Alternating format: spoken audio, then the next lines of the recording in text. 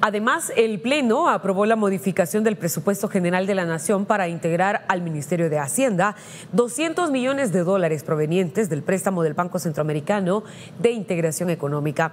Estos fondos serán utilizados para saldar el sacrificio fiscal que realizó el Estado en subsidiar los combustibles ante la crisis externa del petróleo.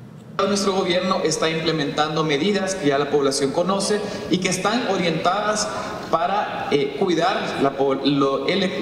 el, bolsillo de la población salvadoreña. Son medidas económicas que ustedes saben tienen un carácter transitorio. Según el dictamen avalado por los legisladores, los fondos integrados al Estado serán utilizados en el cumplimiento de obligaciones adquiridas.